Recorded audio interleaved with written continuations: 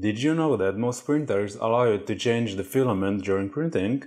It's a great feature and opens up all kinds of possibilities. For example, you could make something like this, or even something better like this, or eyes on these two guys. It's a great feature and works with most printers.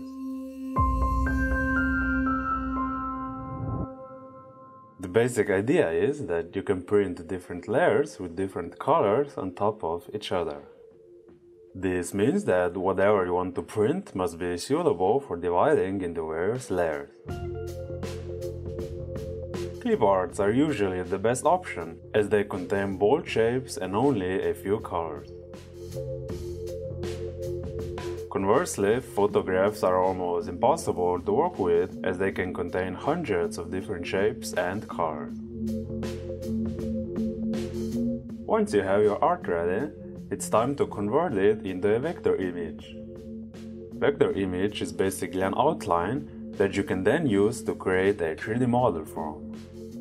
Let's start with an easy example, a YouTube logo which has a simple design and only three colors. You can use Inkscape for conversion. It's a free, open source software that can run on most PCs. Once you have it up and running, simply import the file or just drag it in. Accept the default settings and the image should appear in your workspace. Next, go to the Path menu and pick Trace Bitmap. Before you continue, enable the live preview option as it's a lot easier to tweak the settings that way. I then recommend selecting the colors option under the multiple scans section. Finally, adjust the number of scans. Typically, you want as many scans as there are different colors in the scene. This can of course change from case to case so play with the settings and keep an eye on the preview. The actual colors are not really important. Your goal is to get as few shapes as possible while still retaining all of the features. Once you are satisfied with the preview, hit OK and check the results. The newly created image is actually on top, so move it away and delete the old one. If everything looks OK, save it as a new file with SVG extension. If not, go back and tweak the settings some more. Next, we'll import the file to a modeling software so that we can actually create our 3D object. I recommend using Fusion 360, but just about any modeling software can import SVG files, including Tinkercad. In Fusion, we have to create a new component first. Then, it's simply a matter of going to the Insert menu and selecting SVG. You should now see the outline imported as a new sketch. Then decide how you want to divide the layers and in what order. The order is actually very important, because the top layers will cover the bottom ones. You should also consider the number of layers that you want to use. I found that having at least two layers is enough to prevent the bottom one from affecting the top color. You can also take advantage of this by creating different shades by placing darker colors underneath.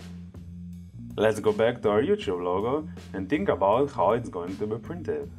We want to print the background color first because everything else will come on top. Extrude the rectangle to form the first layer of our sign.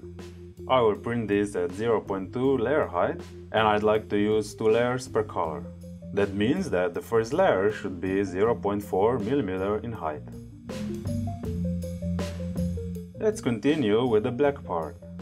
Since you already have a 0.4 layer, and we also want the second color to be 0.4 in height, we have to extrude it for a combined height of 0.8. Hide the body so that you can see the sketch again and extrude all three letters together.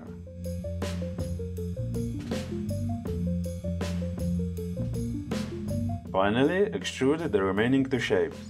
They will both be the same color so you can extrude them together. As before, we already have 0.8 of height and we want to add another color which brings us to a total of 1.2 mm for the new extrusion. Hide the sketches and enable bodies again to see how the final model looks like. If we go back into perspective, you can see how the layers are now stacked together. We are all done with Fusion, so right click on the component and save it as STL file. Use your favorite slicer, but make sure to pick the same layer height that you've used in Fusion, which in this case was 0.2mm. Now comes the most important step. We have to modify the G-code so the printer will know when to stop and switch filament. Luckily for us, Prusa has already created an app to do just that. It's called ColorPrint and you can either download it or use their online version. Here's the best part. This works for the majority of printers, not just with the Prusa. I've done a bit of research and this should work with Ultimaker, Creality, Wanhao, Monoprice and Delta to name just a few.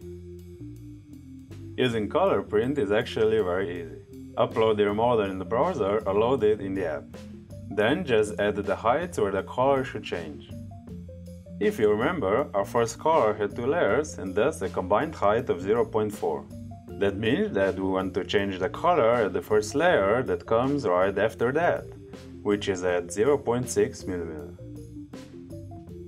The black filament goes up to 0.8, so we want to switch to red just after that, which is at exactly 1 mm. Then simply save the changes and the G-code is ready to be printed.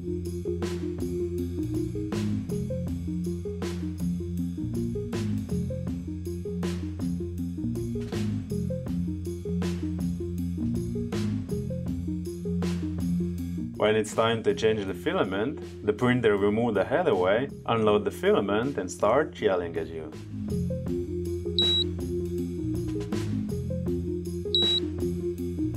Try to switch the filament as quickly as you can. Leaving the hot head empty for too long can cause it to jam.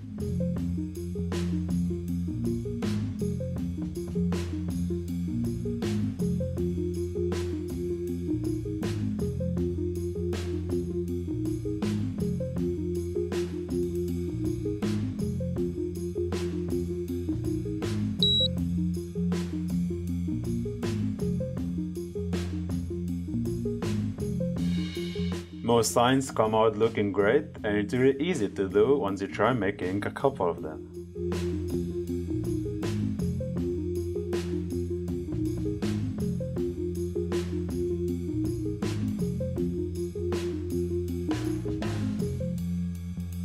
Even if you want to print shapes that are more complex, the process is basically still the same. The only difference is that you have to be extra careful when creating layers.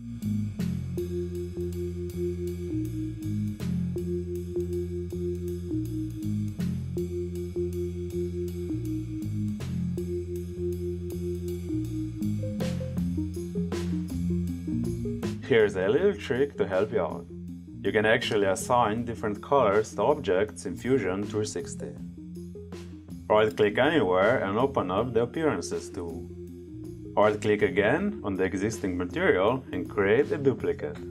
By double-clicking on it, you can now select any color you wish. Then simply drag it to the shape you want.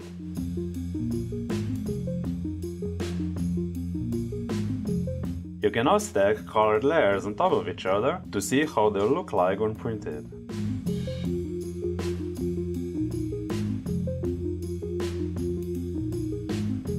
Be sure and give it a try. It's really easy and looks great. Besides, holidays are just around the corner and you can now make unique gifts. I really can't wait to see what you'll come up with. Until next time, as always, thank you for watching and happy printing.